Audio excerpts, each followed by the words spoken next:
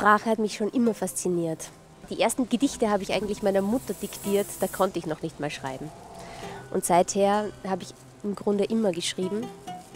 Vor allem Gedichte, vor allem äh, äh, Lyrik. Der größte Teil der Arbeit findet ja im Unsichtbaren statt. Also die Zeit am Computer ist ja wirklich nur die Spitze des Eisberges.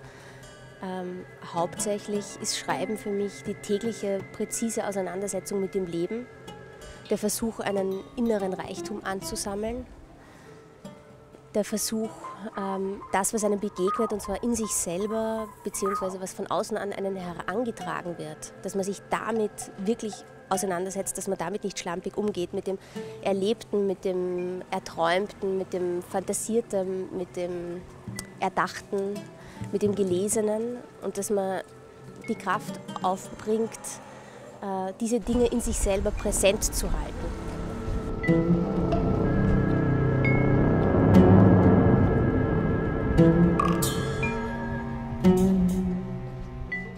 Also es war im Grunde so, dass, ähm, dass ich das Glück gehabt habe, dass ich ja meiner Hauptfigur begegnet bin, dass sie sozusagen eines Tages in meinem Leben stand, als ich 13 Jahre alt war, stand sie in der Landarztpraxis meines Vaters und war damals total verschleiert.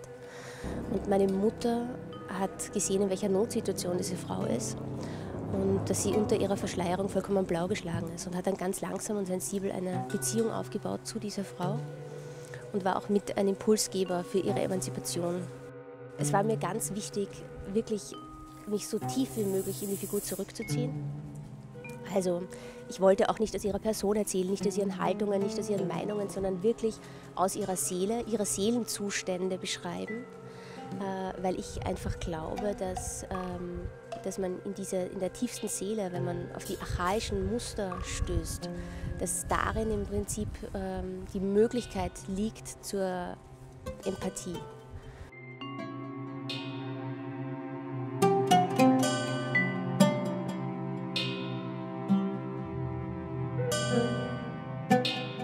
Hat natürlich einen kulturellen Hintergrund, einen atmosphärischen kulturellen Hintergrund, aber hauptsächlich ist es doch eine sehr archaische Geschichte, nämlich einfach die Geschichte einer Gewalt, ein häuslicher Gewalt zwischen Mann und Frau. Und im Grunde sie, ist sie in der Psyche verortet und weniger geografisch. Und sie kann sich unabhängig von geografischen Gegebenheiten oder über alle Grenzen hinweg im Grunde überall dort abspielen, wo ein Mann glaubt, das Recht über eine Frau zu haben und die Frau auch von diesem Mann abhängig ist.